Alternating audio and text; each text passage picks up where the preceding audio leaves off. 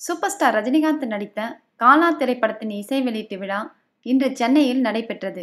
இந்த விழாவில் அரசியல் குறித்தும் தன்னை விமர்சனம் செய்தவர்களுக்கு பதிலடியும் ரஜினி தனது உரையில் தெரிவிப்பார் என்ற ஆர்வத்துடன் வந்த ரசிகர்களை ரஜினி ஏமாற்றி விட்டதாக கருதப்படுகிறது. உரையின் கடைசியில் இன்னும் நேரம் வரவில்லை என்றும் நேரம் வரும்போது கண்டிப்பாக முக்கிய அறிவிப்பை அறிவிப்பேன் என்றும் கூறினார்.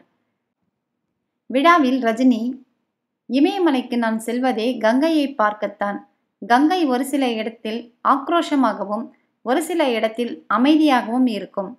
என் வாழ்க்கையின் ஒரே கனவு தென்னிந்திய நதிகளை இணைத்து விடுவதுதான். அதற்காக நான் முழு முயற்சியும் எடுப்பேன். அது என்னுடைய நீண்ட நாள் கனவும். அந்த கனவு முடிந்த பிறகு நான் கண்ணை மூடினாலும் பரவாயில்லை. வாழ்க்கையில் ஒருவன் நல்லவனாக இருக்கலாம்.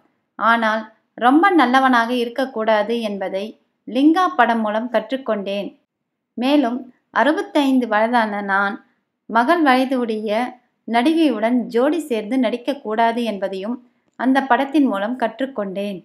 லிங்கா படம் கொஞ்சம் சரியா போகாததால் லிங்கா தான் எனது கடைசி படம் என்று சிலர் கூறினர். இதைத்தான் நாற்பது ஆண்டுகளாக கூறி வருகின்றனர். என்னடா இந்த குதிரை ஓடிக்கிட்டே இருக்கு. பத்து வருஷம் இருபது வருஷம் முப்பது வருஷம் நாற்பது வருஷமா பார்த்தாங்க. இன்னும் நிற்காம ஓடுதேன்னு பொறாம.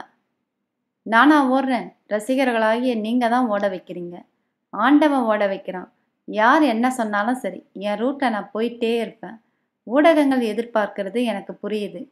நான் என்ன செய்யறதுக்கண்ணா இன்னும் நேரம் வரலையே. நேரம் வந்துவிட்டா? மக்கள் ஆதரவோட தமிழகத்துக்கு நல்லது நடக்கும். என்று ரஜினி பேசினார்.